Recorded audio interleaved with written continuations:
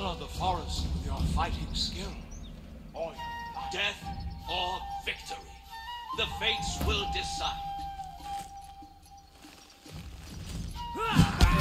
decide.